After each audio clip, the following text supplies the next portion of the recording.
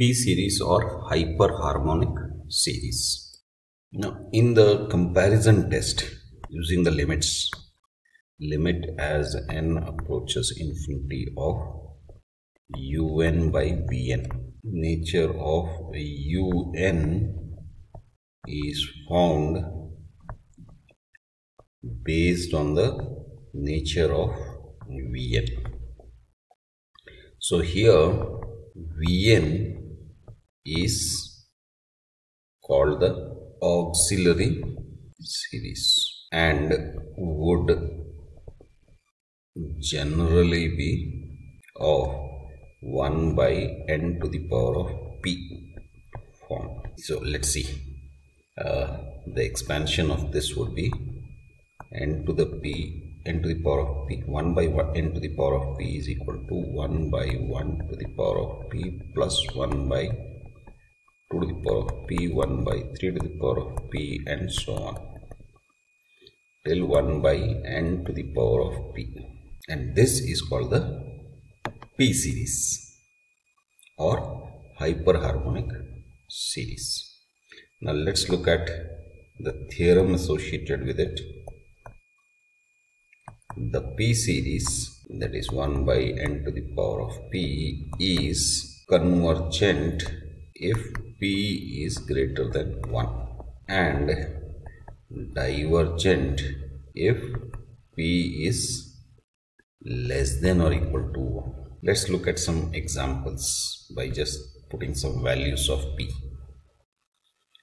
Now the first case is p is greater than 1 so let p be equal to 2 and let's see what happens so we get 1 by uh, p so n to the power of 2 or n square.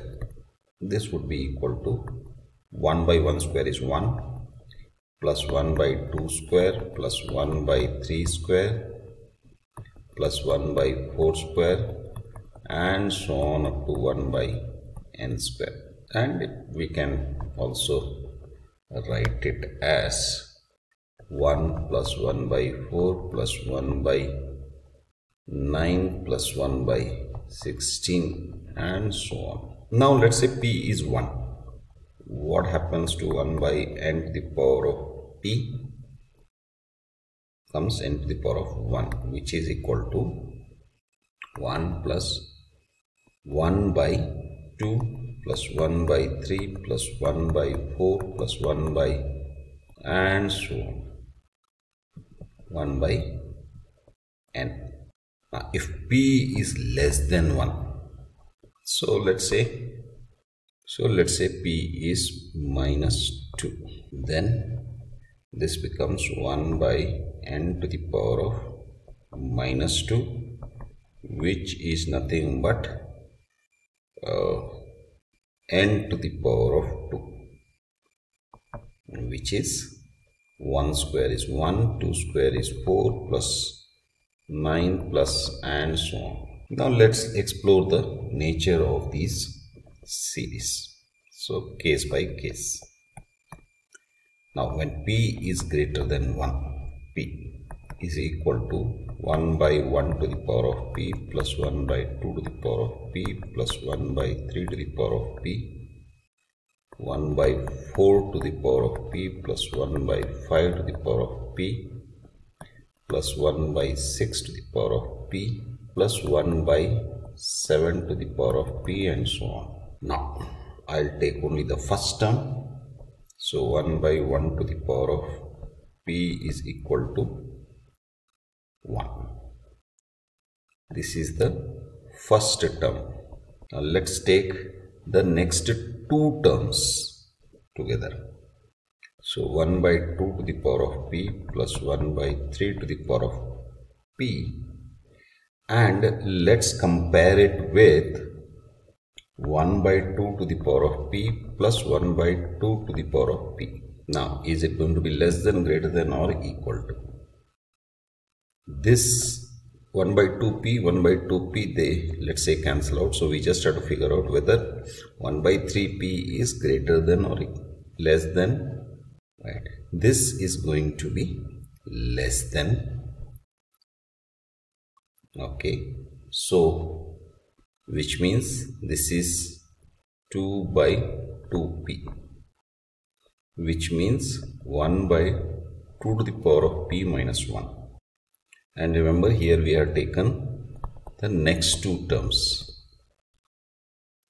now let's take next four terms so 1 by 3p is over. So 1 by 4 to the power of p plus 1 by 5 to the power of p plus 1 by 6 to the power of p plus 1 by 7 to the power of p. And let's compare it with 4 times 1 by 4 to the power of p. So basically we are comparing it with 4 times the first term. Okay. Now, is this going to be less than or greater than?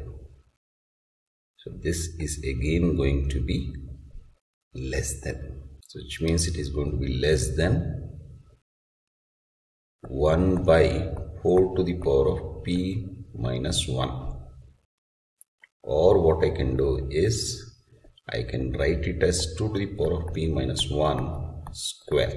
And just to make sure that it's coming properly, let's take the next 8 terms. 1 by 8p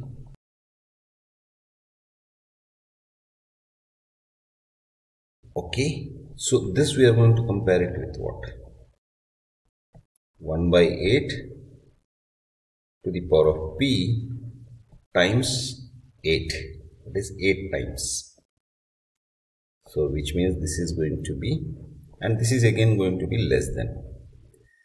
And this can be written as 8 to the power of p minus 1 or we can write it in terms of 2 to the power of p minus 1 cube. So, which means 1 by n to the power of p in case of p greater than 1 can be written as 1 by 1 to the power of p plus 1 by 2 to the power of p 1 by 3 to the power of p plus 1 by 4 to the power of p and so on. And when we do the comparison we know that it's going to be less than or equal to 1 plus 1 by 2 to the power of p minus 1 plus 1 by 2 to the power of p minus 1 square plus 1 by 2 to the power of p minus 1 cube and so on. Now this is a geometric series with common ratio of 1 by 2 to the power of p minus 1. Now this is less than 1. So therefore we have already seen geometric series so we know that because it is less than 1, the geometric series is convergent. So by comparison test, we can say that 1 by n to the power of p is also convergent if p is greater than 1. Okay, that is case 1. So let's say case 2. Now here uh, let's see what happens if p is equal to 1. So 1 by n to the power of p is equal to 1 by 1 by n to the power of 1 that is 1 by n is equal to 1 plus half plus 1 by 3 plus 1 by 4 plus so on up to 1 by n. Just like before let's look at first two terms. 1 plus half is 1 plus half. Now 1 by 3 plus 1 by 4 and let's compare it with 1 by 4 and 1 plus 1 by 4 now this is going to be equal to 2 times 1 by 4 which is 1 by 2 now here again, uh, is it going to be equal to 1 by 4, 1 by 4 is let's say cancelled out. So the only question we have to answer is, is 1 by 3 small uh, lesser or greater than 1 by 4 so 1 by 3 is 0.33 1 by 4 is 0.25 so 1 by 3 is greater than 1 by 4 now let's take 4 terms. So 1 by 5 plus 1 by 6 plus 1 by 7 plus 1 by 8 and compare it with 1 by 8 times 4 again uh, do the comparison and try to figure out whether it is greater or lesser. So this is again be going to be greater. And this is 4 times 2 so 1 by 2 so which means that this series can also be written as okay let me write the original series plus 1 by 3 plus 1 by 4 plus 1 by 5 plus 1 by 6 plus 1 by 7 plus 1 by 8 and as we have seen this is going to be greater than or equal to 1 plus half plus half plus half and so on. Now if we ignore the first term then this is a geometric series with common ratio of 1. So therefore the geometric series is divergent because common ratio is 1. Now, because this G, GS is divergent and our series is greater than this GS, that means what? That means that our series 1 by n is also divergent. When P is equal to 1 let's look at the next case. Okay now let's see when p is less than 1 and just to get an idea of what the, the, this series would look like let's uh, uh, say p is equal to half remember when it is less than 1 it can be a fraction or it can be a uh, complete number. So let's take uh, a fraction. So 1 by np is equal to 1 by square root of 1 remember any number to the power of half is root square root plus 1 by root 2 plus 1 by root 3 and so on now if let's say p is equal to minus 2 which means what? It is less than 1 so in this case it would look like this. 1 by 1 to the power of minus 2 plus 1 by 2 to the power of minus 2 plus 1 by 3 to the power of minus 2 and so on. Now since the exponent is negative we can bring it up to the numerator to make it positive. So it will become 1 plus 2 square plus 3 square and so on. So this is how it would look like. Now let's look at, let's compare uh, n to the power of p and n. So let's say this is uh, p is half what we have already explored. So 1 to the power of half and n is 1. Now in this case it is equal. Now let's look at 2 to the power of half now is this equal? No. This is square root of 2. So square root of a number is naturally less than the number itself. So square root of 2 would be less than 2. Square root of 3 would be less than 3. So in general we can say n to the power of p is less than or equal to because of this is equal to n. That is when we consider a fraction.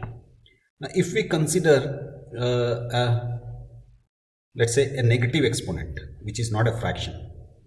So in that case, what happens? So n to the power of p and n.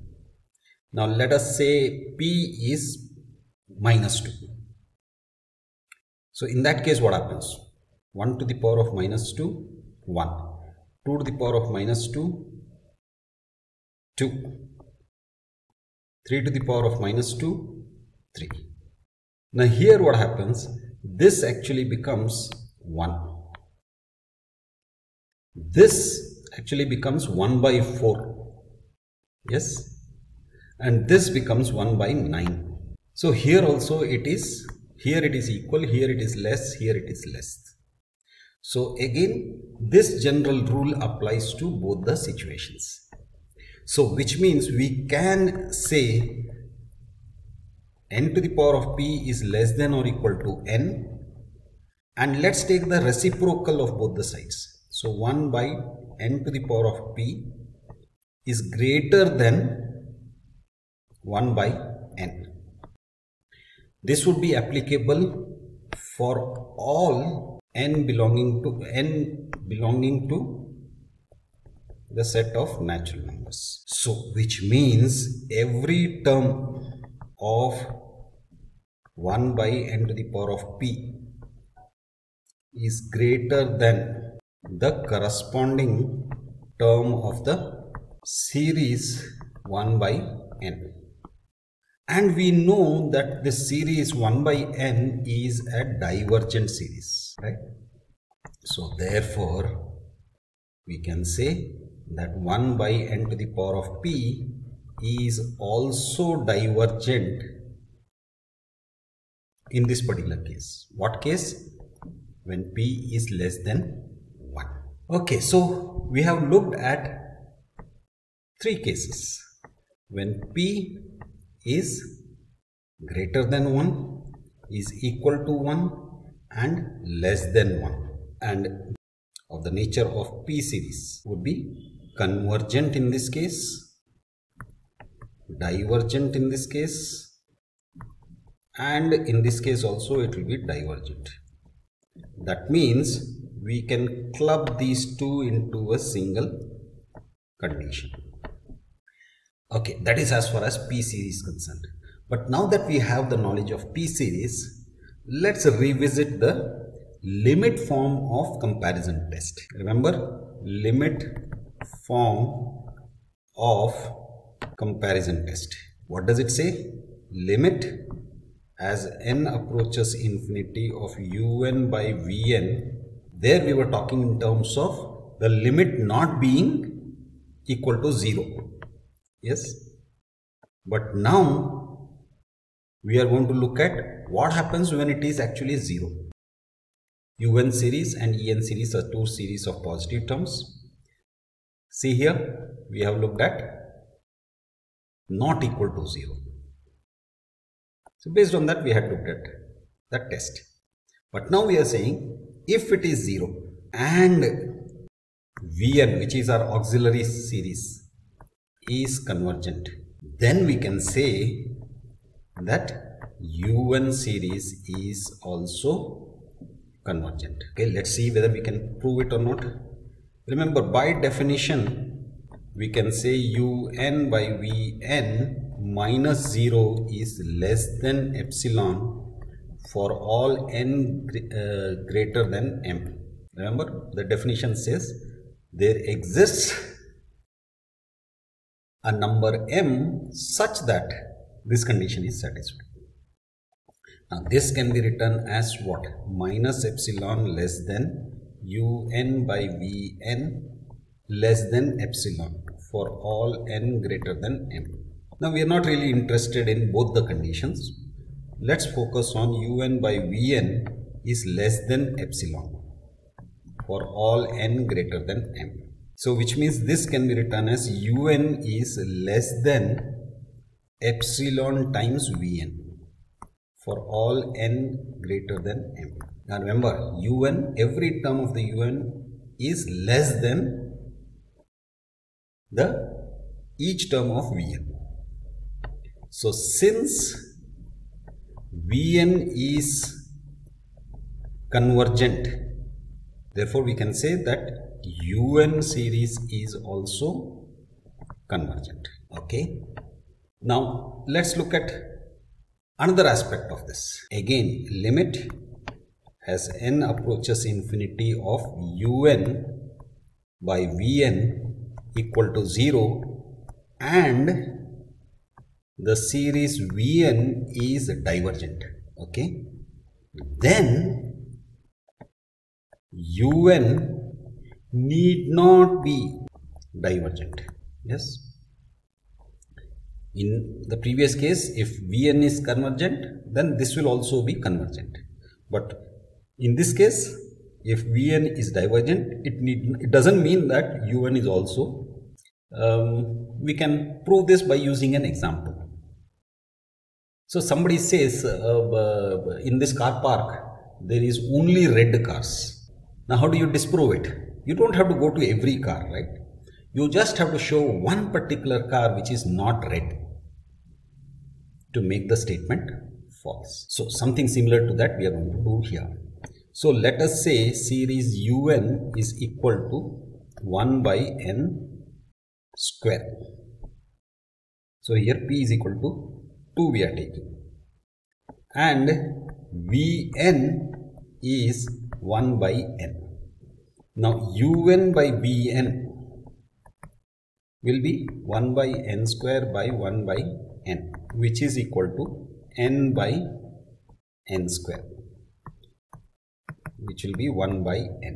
Now let's take the limit. Limit as n approaches infinity of un by vn is equal to limit as n approaches infinity of 1 by n. This is equal to 0. Now understand this very carefully. Yes, here 1 by n square is nothing but the p series of this form right where p is greater than 1 so if p is greater than 1 it means what it is convergent right we have already proved this previously. And 1 by n is nothing but 1 by n to the power of p where p is equal to 1 and this we have already proved that this is divergent. So Vn series is remember this is Vn and this is Un. So Vn is divergent but Un is not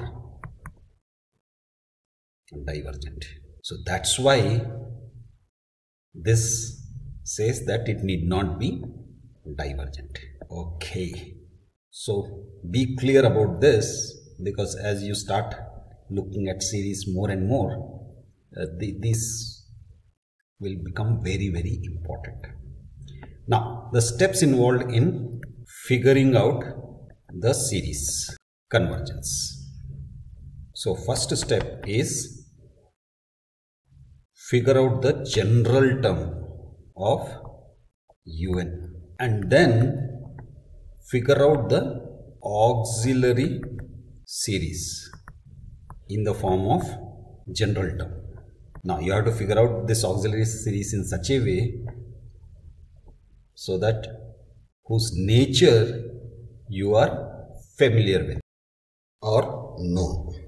So and also the limit as n approaches infinity of un by vn is equal to l and l is not equal to 0 because if it is l equal to 0 then you have to be careful of these two uh, situations. Okay i think that's enough for today. Bye for now